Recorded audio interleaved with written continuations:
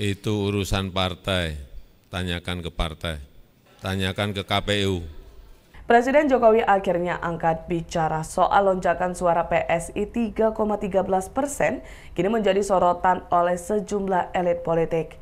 Para elit yang mengkritik keras suara PSI ini datang dari Capres 01 Anies Baswedan yang menyebut bahwa meski ketuanya adalah anak presiden, tak bisa segala hal dilakukan.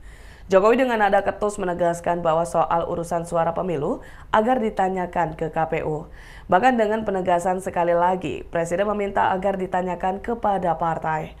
Hal ini Jokowi jawab saat konferensi pers di Lanut Halim Perdana Kusuma, Jakarta Timur pada Senin 4 Maret 2024. Ikuti terus berita menarik lainnya.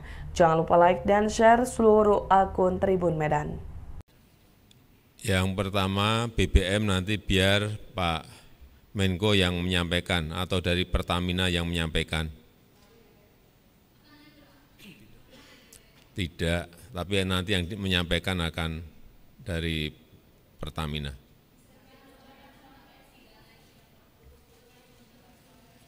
Itu urusan partai, tanyakan ke partai. Tanyakan ke KPU.